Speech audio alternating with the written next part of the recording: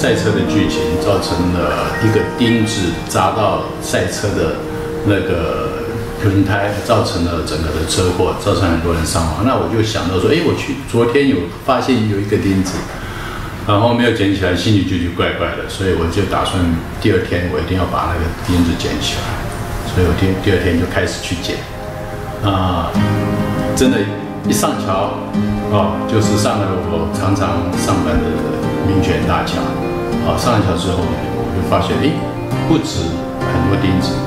啊，不止捡到一个钉子，然后，哎，一上桥就捡了好几个钉子，那发现说，哎，结果再往前走，终于找到我自己要捡的那个钉子了，所以我就心里就觉得，哎，啊。很开心，可是发现说这个桥上平常看起来干干净净的，为什么有这么多钉子？所以我就一路这样子捡过去之后，发现捡了一袋。可是看了这些钉子，我就又想到说，哎，那我只是走了这个桥的呃一边而已，那另外一边是不是也会是这样子？所以我很好奇，第二天我又是啊利用上班的时间，又走了桥的另外一侧，就把那些钉子。哎，发现又捡到很多，也是捡一样的捡到很多钉子，因此就说，哎，捡完之后心里想说，哎，那又看到前面的又有一个麦帅桥，哎，那麦帅桥会不会也是这样子？所以就因为这样的原因，我就一直一一 一座桥一座桥的这样子就剪下去，想到就是每座桥都有很多钉子，好，然后捡起来之后，发现自己心里也觉得很开心。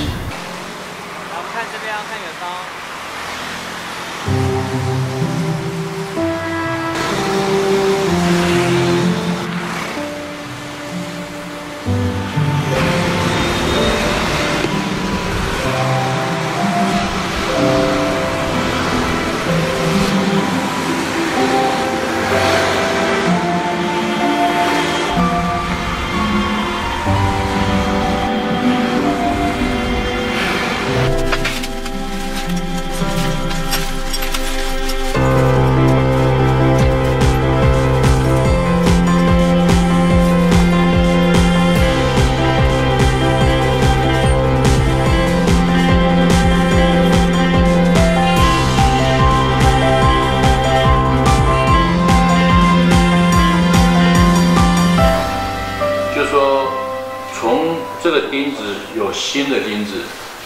有旧的钉子，有大，哈，有大的大的这种类似钉子的，有这种生锈了很久的很尖的钉子，有很新的钉子。那我想，这每一颗钉子，甚至这个铁丝，它都曾经有作用过。